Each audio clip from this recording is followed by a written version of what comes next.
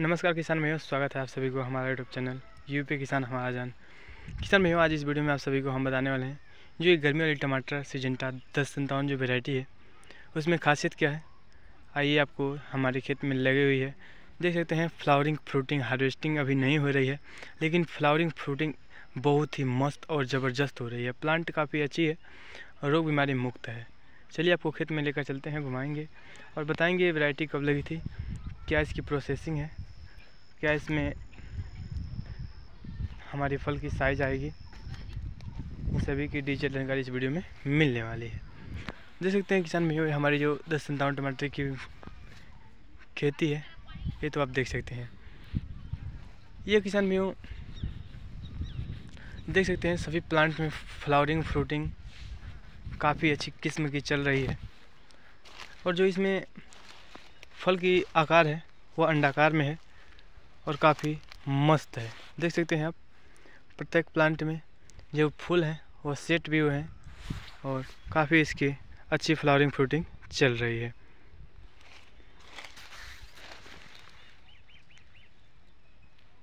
प्रत्येक प्लांट में फूल की अगर संख्या की बात करें, प्रति झोपे के तो छः सात फूल आ जा रहे हैं और सभी फूल सेटअप के हैं।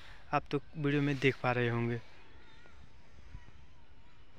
साथ ही किसान में एक बात और बात कर लिया जाए। रुपाई तो आप देख सकते हैं इसी माध्यम से हुई है। ये सिंचाई करने वाली नाली है और ये हमारी जो दोनों प्लांट है, इसी में नीचे आ जाएगी। क्योंकि जब प्लांट बड़ी होती है तो खुद को कंट्रोल नहीं कर पाती है। वो उधर जाएगी तो पानी चलाएँगे तो हमारे टमाटर ख़राब हो सकती है। लेकिन जब इस लाइन में आ जाएगी तो इसमें पानी चलेगी नहीं और हमारे प्लांट ख़राब भी नहीं होगी। तो इस तरीके से हमारी दस संतावन जो टमाटर की खेती है किसान, इस तरीके से बचाव की जा सकती है। देख सकते हैं यह हमारी लगभग साठ से पैंसठ दिन की प्लांट हुई है। सॉरी, पैंतालीस से पचास दिन की ये प्लांट हुई है, जिसमें फ्लावरिंग भी चल रही है और फूल भी काफ़ी अच्छी चल रही है इसमें। फल की साइज़ भी देख सकते हैं। एकदम अंडाकार में है, इधर आपको दिखाते हैं फूल। जो इसकी फल है, इस समय वाइट है, लेकिन पकने के पश्चात एकदम रेड कलर लाल कलर की आती है, गाढ़े लाल कलर की आती है। किसान भाई देख सकते हैं प्लांट अभी इंक्रीज पे है। फूल भी, फल भी काफ़ी अच्छी लगी हुई है। साथ ही किसान भैया अगर इसकी हम बीमारी की बात करें तो इसमें कोई ख़ास बीमारी नहीं है, इसमें कहीं कहीं पे पाला लगी हुई है, जिसमें पत्ते काले काले धब्बे कहीं कहीं पे हुए हैं। उनके लिए आप कोई चिंता लेने की ज़रूरत नहीं है।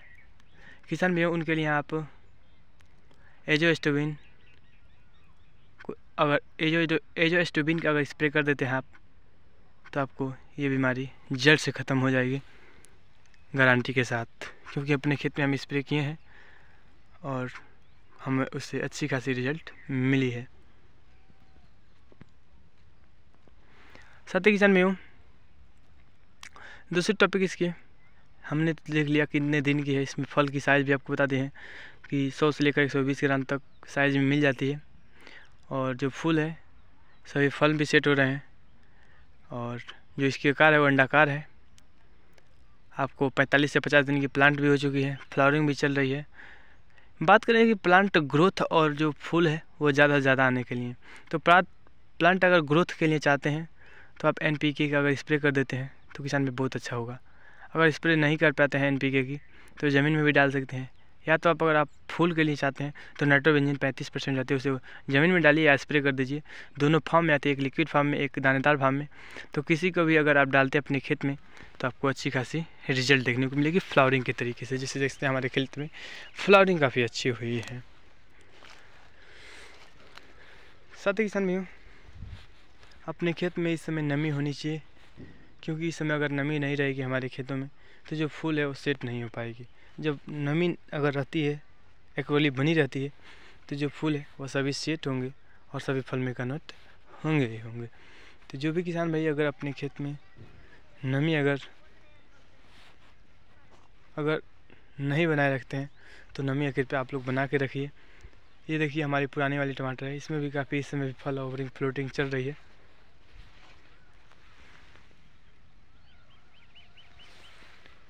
तो साथी किसान भाइयों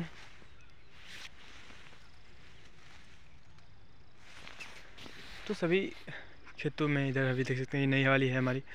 ये दस संतावन वेराइटी है। तो किसान भाइयों, अगर आप इस वीडियो को पूरे लास्ट तक देखें थैंक यू सो मच ज़्यादा से ज़्यादा किसान भाइयों के पास शेयर कीजिए। वीडियो को लाइक करके चैनल को सब्सक्राइब कर दीजिए, क्योंकि खेती बाड़ी संबंधित पर डे वीडियो आपके लिए हम लेकर आते रहते हैं। तो चलिए फ्रेंड्स गुड बाय जय हिंद। बंदे मातरम। फिर से अगले वीडियो में नई नई जानकारी। नई नई टॉपिक आपके लिए हम पर डे लेकर आते रहते हैं। तो किसान भाइयों, वीडियो कैसी लगी? आप जानकारी कमेंट में देख सकते हैं। अगर वीडियो अच्छा लगा हो तो ज़्यादा किसान भाइयों के पास शेयर कर सकते हैं।